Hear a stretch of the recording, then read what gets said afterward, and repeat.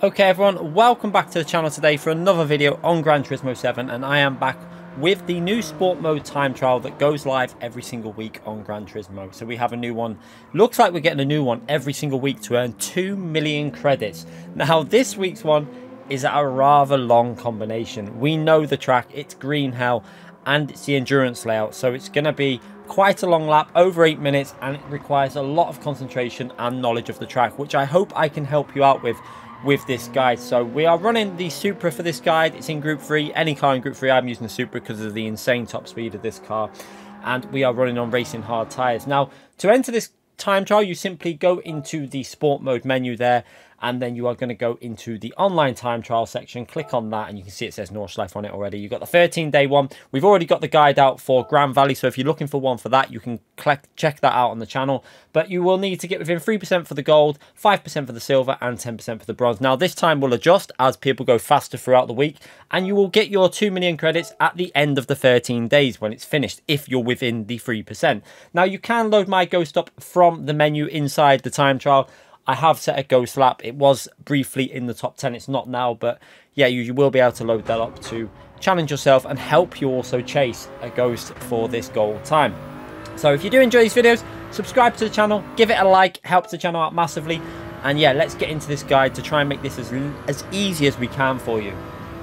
So going into turn one, we are going to be looking for the 150 board on the left-hand side. You can see it there. We're going to brake ever so slightly past that. So just as we're going past it, you're going to see the braking inputs going in. So playing it a bit more, and you can see the braking inputs have started to go in. So just past that 150 balls, braking inputs going in, keeping the car to the left-hand side of the track. You can see I'm really using the full width of the track here as we go down to first gear because you want to rotate this in more because we're not going to be going for the normal layout of the GP track. We're going to rotate it into this apex and then we want to get this car lined up for this next corner. You can see how we're already a little dab of brake here just to get a bit of weight on the front of the car. That will help rotate the car through the corner and then just getting it through that apex, clipping the wall almost. You want to get as close to that wall as possible and then get on the throttle and accelerate out onto the full width of the track. So up shift to third gear, quite early. This car is really good with third gear acceleration. And now we're looking for the next braking zone, this left-hand here. We're using the end of the tarmac for the sprint layout. You can see the cone there. That's a good reference as well.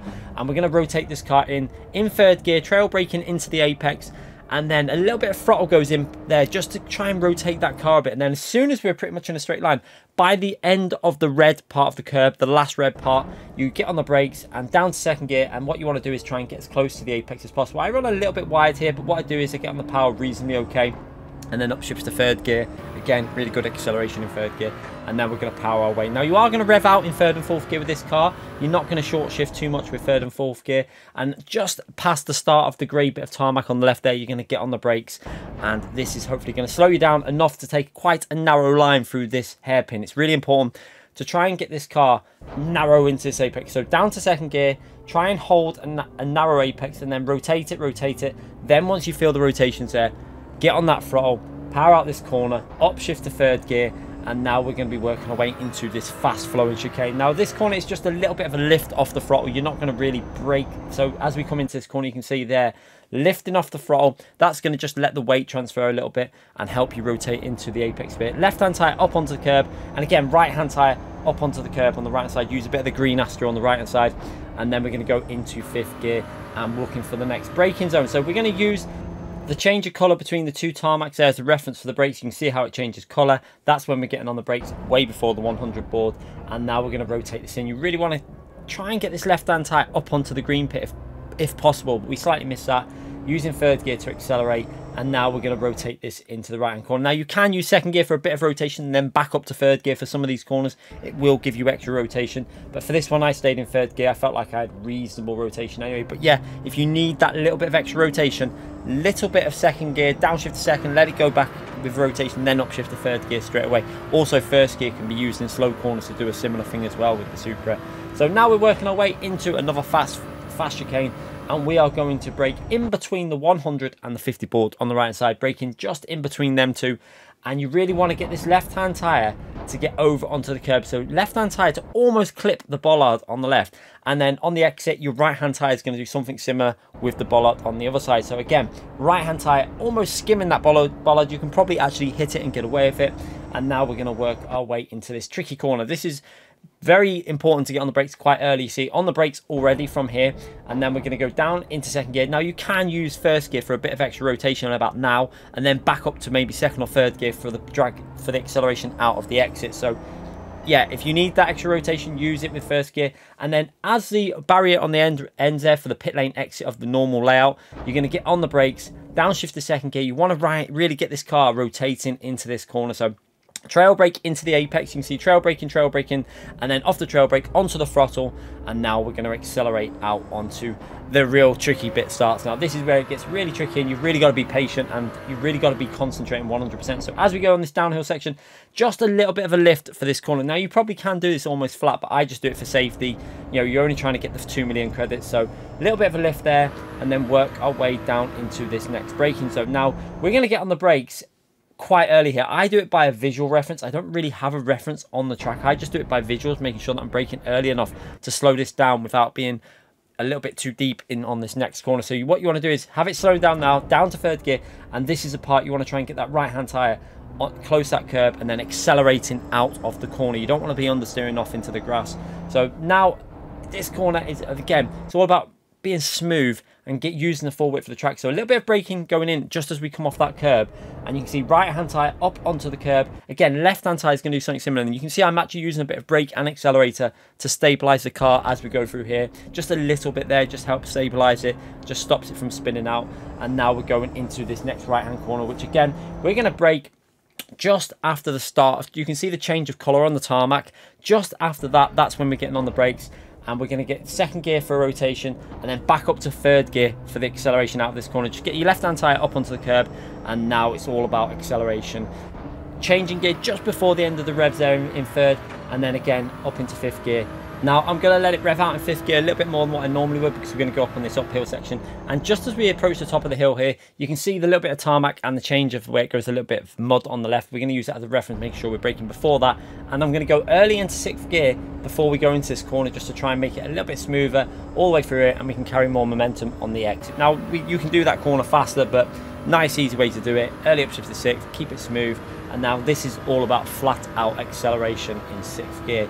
You're going to be going all the way up here through this left hand corner. And now you're just going to give it a little bit of a lift on this corner off the throttle to try and help the car get into the apex on the left. So you're going to see, watch my throttle inputs, tiny little bit of a lift there, just to try and keep the car to left hand side so that when we get on the brakes, as soon as we've got the car in a straight line, we're onto that brakes and we're going to be slowing this car down. Now, it's important to get really earlier rather than later because if you're slightly late on the brakes for this corner, it's so easy to understeer off into the gravel. Now, what you want to do is get it so that you're slowing down right hand tyre can get very close to the apex on the right hand side and then you can upshift to third gear and get that power down without running wide off the track on the left hand side. So use a bit of curb on the left and now we're powering our way all the way down the hill you can see revving it out a little bit there.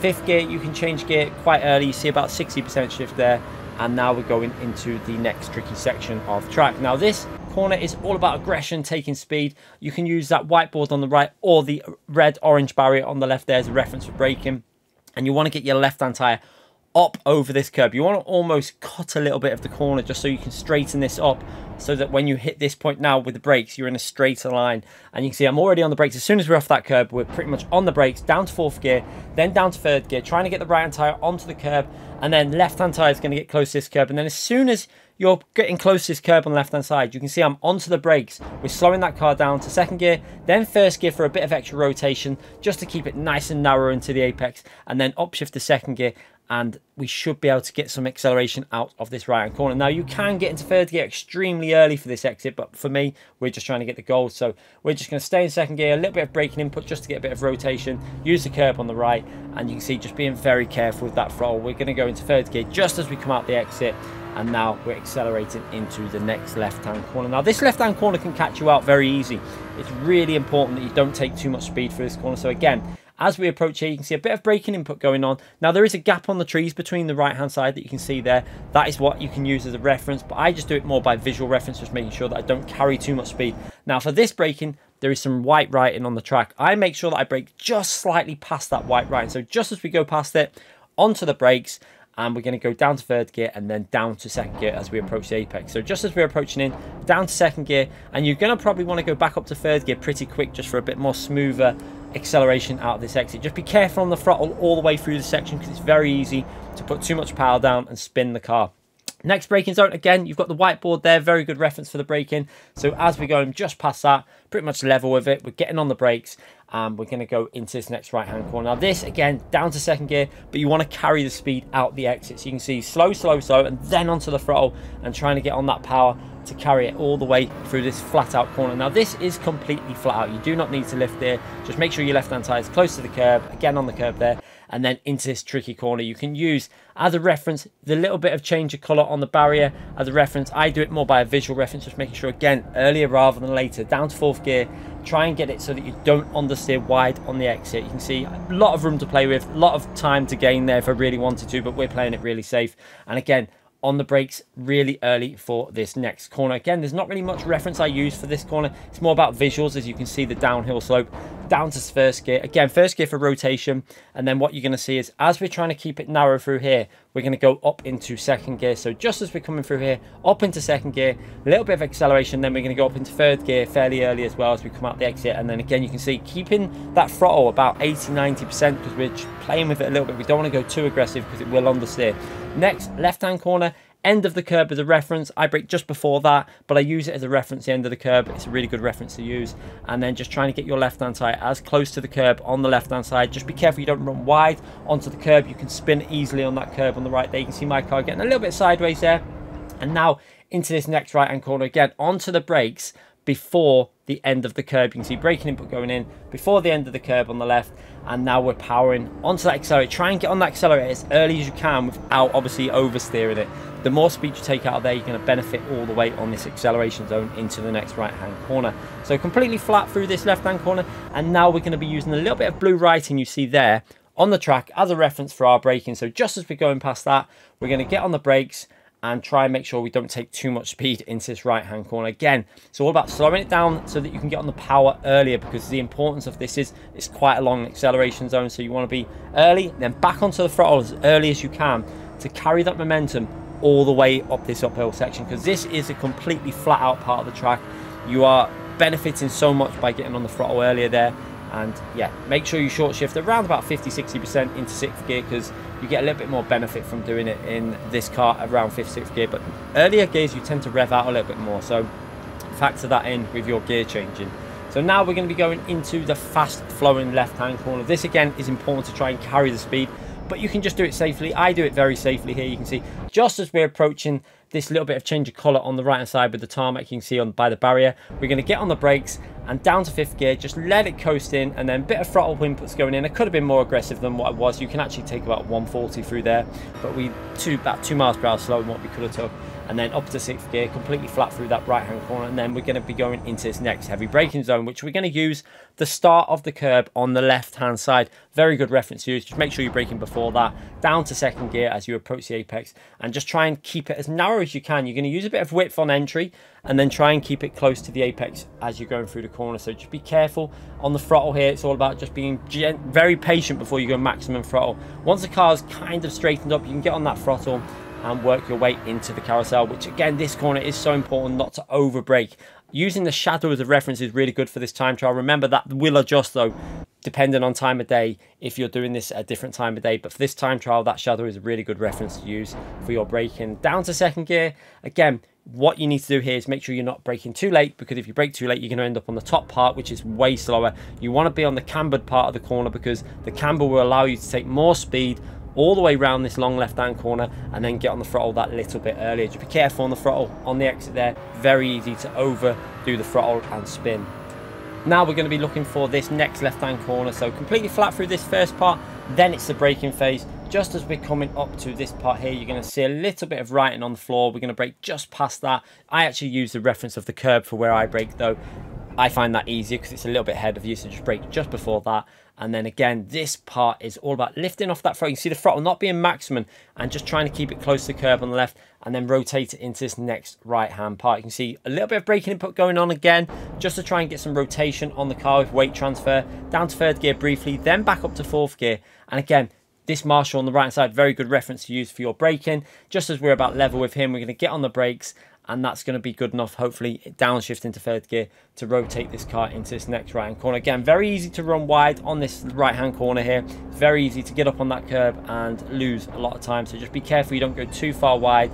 And now we're into fourth gear and accelerating through this next flow, fast flowing corners. It's all about carrying momentum and speed through here. So again, you can see you want to be getting this right-hand tyre up onto the curb on the right hand side. You can see the little bit of braking input going in again here just before the Marshall and the red barrier on the left hand side. It's only a dab there just to get a bit of weight transfer. It's not really full braking. Again, through this left hand corner, you see a slight bit of braking input going in again. We're just trying to put a little bit of weight transfer. It's nothing exaggerated. It's just basically just trying to be smooth without overdriving this at the moment. Again, using the curb on the right hand side, right hand tire can get right up onto that tarmac on the right hand side of the curb. So you can get up on there and now we're going to go into this next right hand corner using again Marshall on the left hand side good reference to use for a braking you can see just as we're level with him, braking input going in. Now I am going to go down to third gear briefly here. So you can see down to third gear, let it rotate in. I think you can probably do this almost a bit more staying in fourth gear, but I just do it for safety. Then back up to fourth gear, use some of the exit curb, concrete on the left hand side there. And then at the end of this white writing, you can see that's a good reference again to use for your braking reference. So this writing on the track is really good as brake references. So again, just as you're going past that, get on the brakes, down to third gear, as you're coming into this corner you can see just being careful on the throttle not maximum throttle we're just being very gentle and then once we feel we're safe getting on that throttle a bit more aggressively. And again using the end of the concrete on the left hand side there as a reference braking just short of that down to third gear. Try and get your right hand tire as close to the curb as possible. Be careful you don't push too much on the exit here. You can easily run wide and then again, end of the curb on the left-hand side is a very good reference for the braking into this next right-hand corner. You see just going on that brakes just before the end of the curb and just being very careful all the way through. You can see a bit of trail brake going on and then onto that throttle. And again, be careful you don't run too far wide on the exit because you can easily spin on that curb.